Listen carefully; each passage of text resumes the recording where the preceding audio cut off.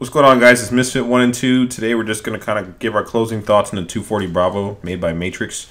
Um, a couple bullet points we're going to go through. Things we didn't like, which is kind of hard to really talk about because there's not much that we didn't like.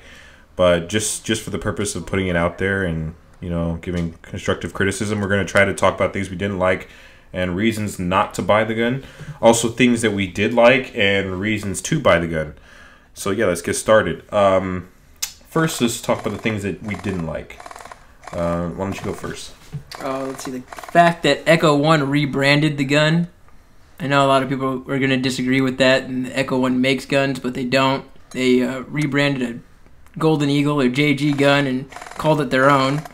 So I guess it doesn't really pertain to this gun so much, but more so to the Echo One gun. And I'd say don't buy that and buy this instead. Right. It's kind of like the principle of it too, like that you know you really think that we're that fucking stupid. You're just rebranding shit and it's, you know and putting a huge price tag on it and everything. Um, one of the things I didn't like personally were uh, some of the polymer materials on on the gun, like the stock was kind of cheap, cheaply made to me. Um, but that's that's just me. It still did the still did the job. Seems like it won't break. Seems seems like it's pretty good. But if I had to say something about the gun that I didn't like, it would be that.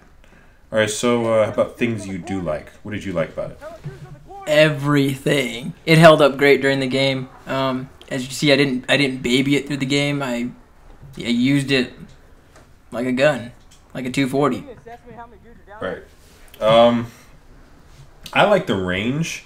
I think that the range was outstanding for a stock gun, especially uh, double eagle or JG gun. Golden Eagle or Golden Eagle, whatever the hell I don't know how it's called. but it's, especially for a cheap, it's not even cheap. A Chinese gun, I should say, a Chinese gun. It, it did pretty well with the range. Um, and actually, I was telling Bradley, I was like, I don't know if you should flat hop it. Uh, you might lose that range, you know, but you might get better. I don't know. I'm really not sure.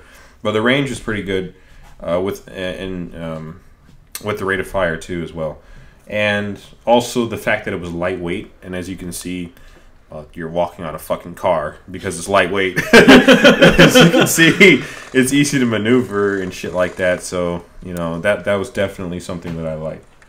Um, how about reasons to buy? It's a 240. Why wouldn't you want to buy a 240? Everybody wants a 240.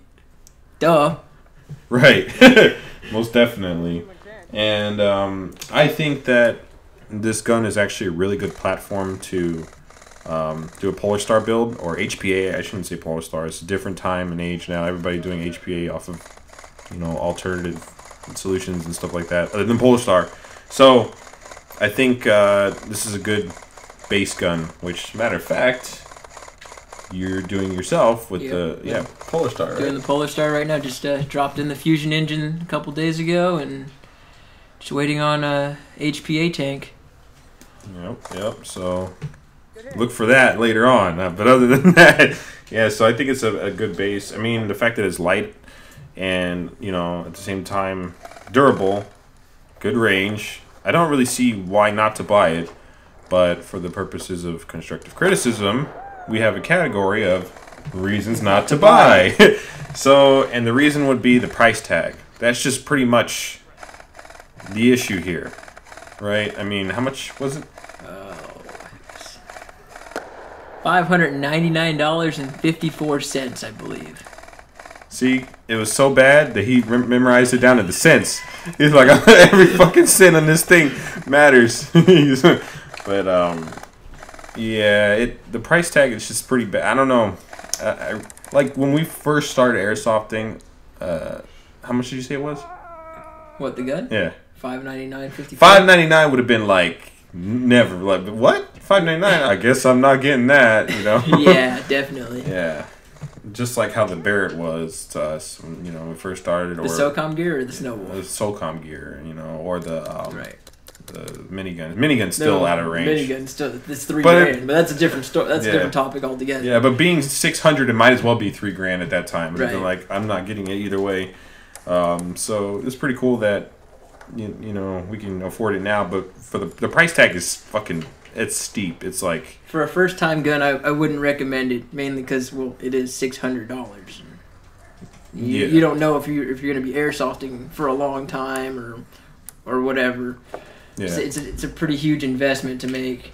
And although you did run an 11-1, do you think that the gun is Would um, hold up to an 11-1 over a long period of time. exactly? I don't know because I only ran it for uh, like a couple games on on an 11-1 with like a, a 20 amp dump. And you know how to fucking handle your guns too, so you're doing short short bursts and you weren't Right. holding down I the wasn't trigger. holding down the trigger.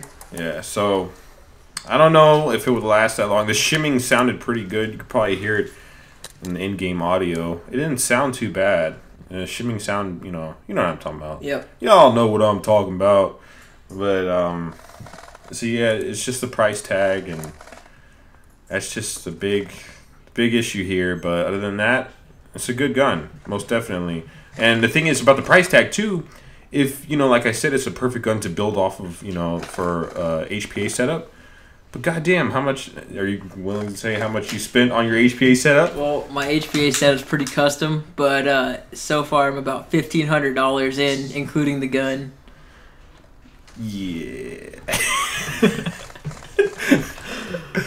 yeah, so fifteen hundred bucks, you know, so it's like even though it's a good set, you know, good gun to start out, you know, HPA setup with, fifteen hundred bucks or sixteen. Fifteen. It's fifteen hundred hundred dollars. Yeah. Fucking that's hella money. So it's like you know, still I don't know the price tag. If the price tag wasn't that high for the gun, the base, then it wouldn't be you know be so bad in the long run. Yeah. Yeah. Yeah. So, um, let's see. Anything else you want to say about the gun before we close this whole thing out? Because after this, After this, it's gonna be a Polar Star. it's going to be a Polar Star. Yeah. So there's It's not an AEG anymore. Let's just say that. yeah. So there's, There's no, no more M240 AEG videos. After this, it's all M240 Polar Star. yeah, pretty much. Custom Polar Star rigs. So That's why we tried to push all this stuff out before we turned it into an or you turned it into an HPA gun, so that we can have everything you know from its stock point. You know, Right. so you can see what it's like. And I'm pretty sure you know that's pretty much all I have to say. Um, and we haven't, you haven't Polar Star. yet- Well, you haven't got to be able to test the haven't Polar gotten Star to be yet. able to test the Polar Star. So you can't really compare whether you would want to keep it or not. But I'm pretty sure we'll make a video on it while it's Polar Starred, and then you can say it then and there. Well, I guess that's just about it.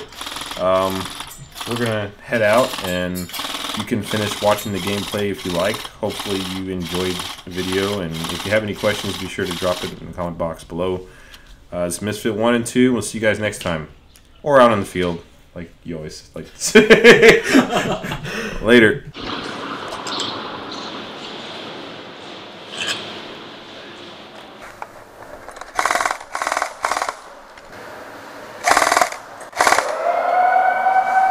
Kill confirmed.